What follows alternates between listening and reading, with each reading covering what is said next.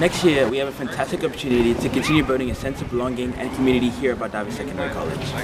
Homeroom will create a culture that is safe, where we'll be nurtured and known well by at least one adult here at college. It will help us form those important relationships between each other.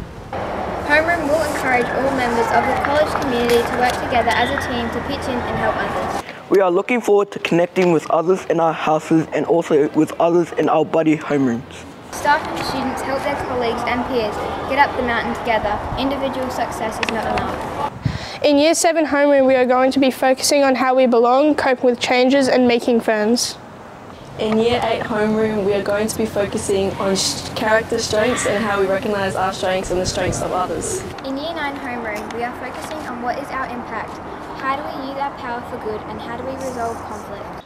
In Year 10 homeroom, we're focusing on our purpose. Where are we going? In Year 11 homeroom, we are focusing on influence, how we can make a difference. In Year 12 homeroom, we're focusing on who we want to be, contributing to society and adapting to change. Homeroom is a time to connect with each other through meaningful discussions and activities. Homeroom isn't a time to study or finish homework or go on our phones. Homeroom isn't a time for our homeroom leaders to check their emails.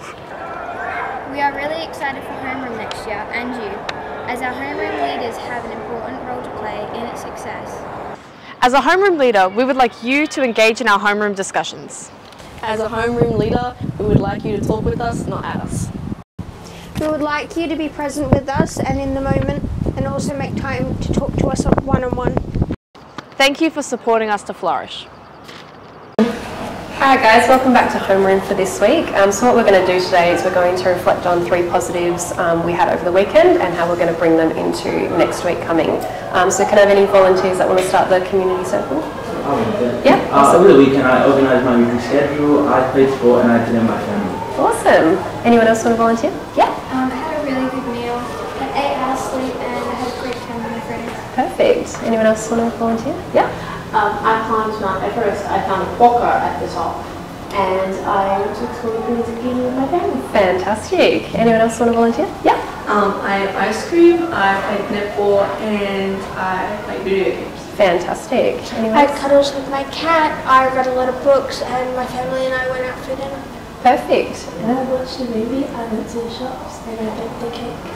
Awesome. Um, so now we're going to reflect on um, how that's going to bring into this week. Um, so does anyone want to start? Yeah? Um, having that good motivation to get all the work done for the next day. Yeah. Awesome. Anyone else? Uh, maybe to work with others during the week. Yeah, awesome. Um, I've also been feeling very motivated to get my work done yep. so I can get on Fantastic. Expanding my vocabulary. Awesome. All really great stuff. Anyone else want to volunteer? No, that's fine. All right, thanks guys.